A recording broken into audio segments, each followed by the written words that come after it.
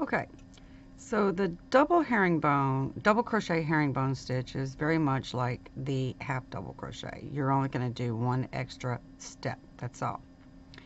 So like the half double crochet herringbone stitch, it is any number of stitches though. So I do a number of 26. It yields about an 8 inch uh, dishcloth. So I'm going to stick with 26 chains. So let's work 26 chains. A chain is yarn over, go through the loop. Yarn over, go through the loop. Yarn over, go through the loop. And we're going to do that for 26 chains. So I've got one, two, three, four, five,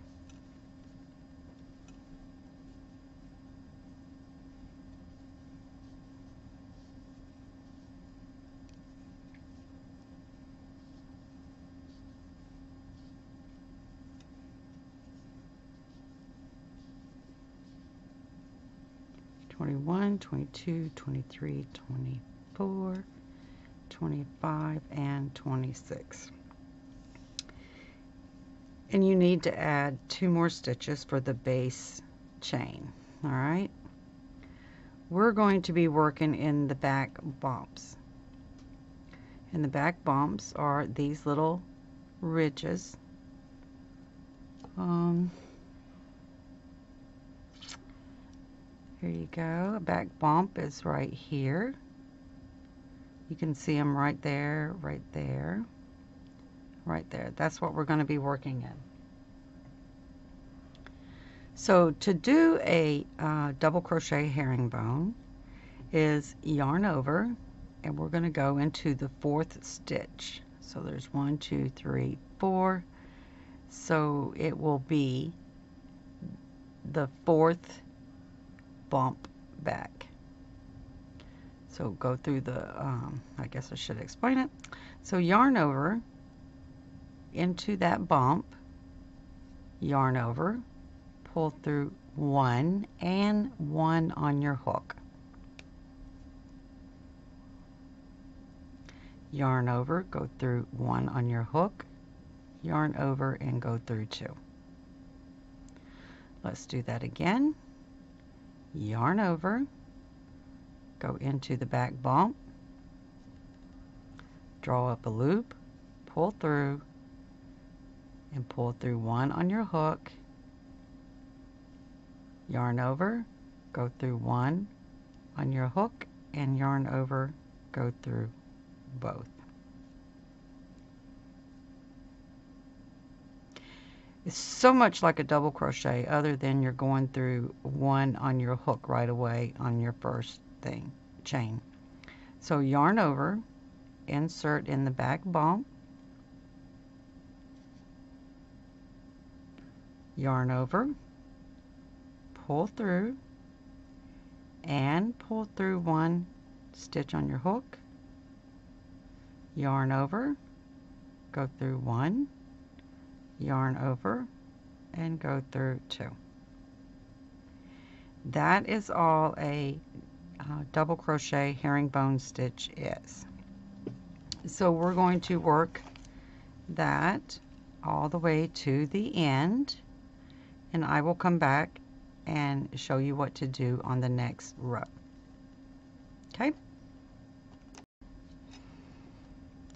All right, welcome back. I hope you come back and finished your first row. I'm going to do my last double crochet herringbone stitch. Go into the stitch, pull up a yarn, go through the first one on my hook, go through that one and do a, go through the last two. Sorry about that.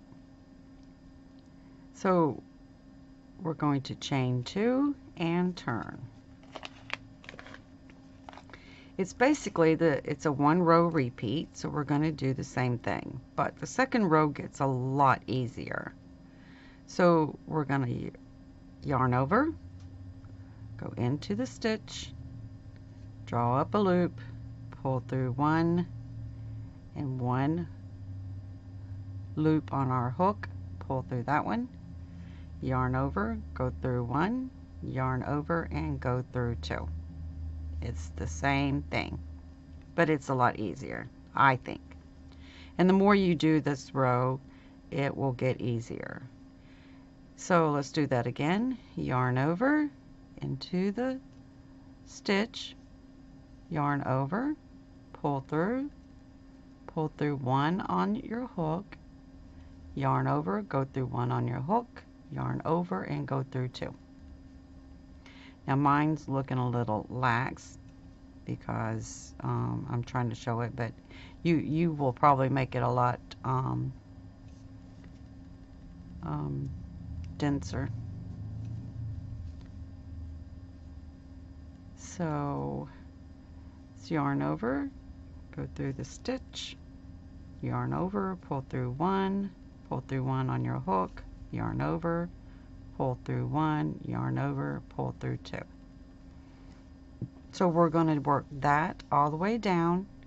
We're going to repeat row one and we're probably going to do it for about 18 rows and I'll come back and tell you how many rows that I had done. Alright?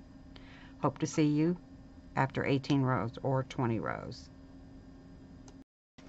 Alright everybody, welcome back we're down here to the last row that I'm going to do. If you want to do more, you're more than welcome to do that. And I did a grand total of 16. As you can see, between here and here, that's two rows. So there's two. Let me turn it this way. I see better this way. Okay, there's two, four, six, eight, ten. 12, 14, there's one here is 15, and this beginning row is 16. So I did 16. So all I'm going to do on this last one is uh, chain one, turn, and do a single crochet all the way across. Is all I'm going to do. Now, like I said, if you was selling these at a craft fair, you might want to do a nice little pretty border around um, to get a little extra money out of your sale.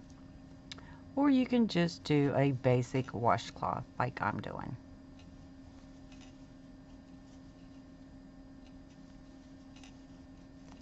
This is number two of my 365 washcloths that I will be doing this year, along with the video of the washcloth. I will also do tutorial for each one that I have done. So that's all for this double crochet washcloth. I hope everybody enjoyed it and give it a try because these was really fun to make. The half double crochet and the double crochet herringbone stitch. And what's neat about both of these is you know looking straight at it you don't see the herringbone but let me finish these last two stitches and I will show you so pull it up, give it a snip, finish off, give it a tug. So looking at it like this, you don't really see the herringbone stitch. But look when you turn it this way. Look how pretty that is. Do you not think that would make a beautiful top? And a lightweight. I might have to try it. So all you're going to do is sew your ends in and washcloth number two. I hope you enjoyed this. Give me a thumbs up. Tell me you like it or leave a comment. Thank you all for watching.